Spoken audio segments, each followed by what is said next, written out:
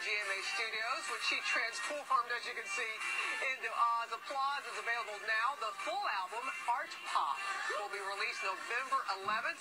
And now that you've had a chance to catch your breath just a little bit here, Lady Gaga, can we chat chat for a little bit? Yes, of course. First of all, I love your little monsters. They look so cute. They were part of the, the performance. We were excited when you were here a couple of weeks ago and had the video. What was it like to now come out here and perform the song? Oh, I, I love performing, so of course I, I prefer this. Yes. I really do. I love being on stage, and I, um, you know, I love Good Morning America so much, and I just wanted the fans to be part of the performance because they don't usually get to do that. So they're poppies. I hope you don't all fall asleep. Remember poppies? No.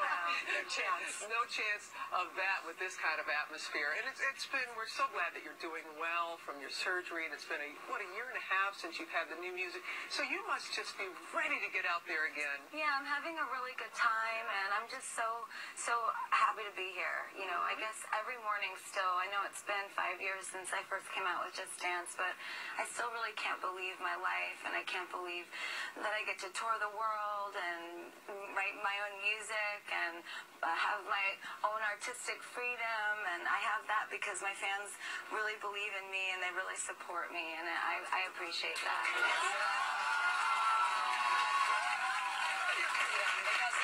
in that freedom brings so much joy to so many. What made you decide to, to bring Dorothy to life in such an inventive way?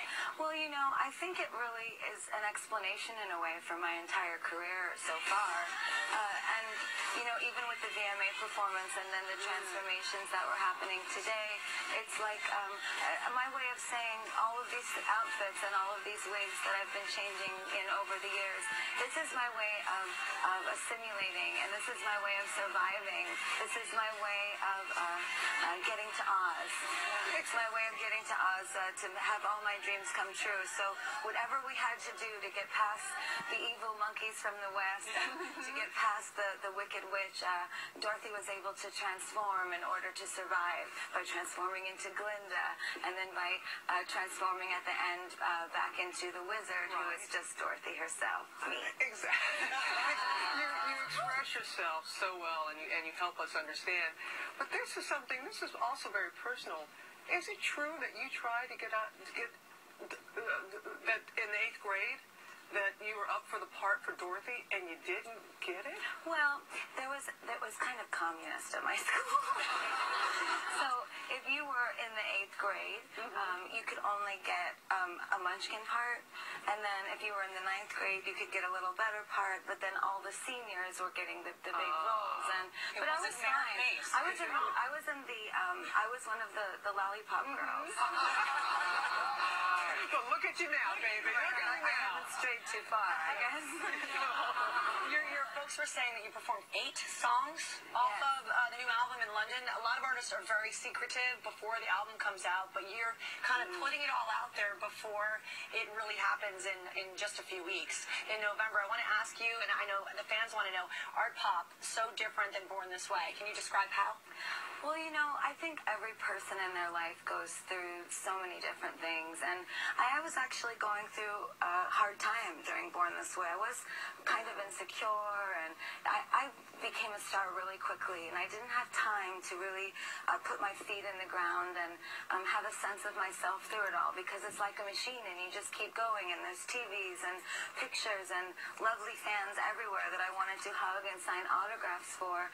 Uh, so there was a lot of me putting things on, I think, to hide that sadness, and the record reflected that. But I'm really, um, I'm feeling so positive and healed in a lot of ways, and I feel really overjoyed and full of love, and I'm obsessed with making things colorful and happy, and I, I think it's it's because I'm in a happy place. So Yeah. when I'm in a happy place, the music is, and I have my my fans to thank for that because no matter what I go through, and no matter how I evolve, they always stand by me because they uh, appreciate my point of view, and uh, that's what Art Pop is about. I want them to now appreciate their points of view, and when you know they're harnessing their talents, you know whatever your talents may be, I want you to know that your talents are important, and that uh, just because you want to be an artist and maybe not a doctor or a nurse or a teacher, it doesn't mean that uh, it's less than that. It doesn't mean that you still can't survive. In fact, in the you know economy that we live in, it's actually wonderful to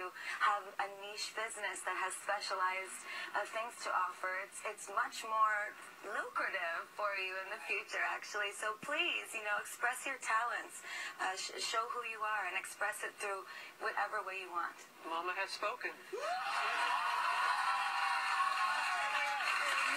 So good to and so good to your audience and just your authenticity, and we're just so happy for you.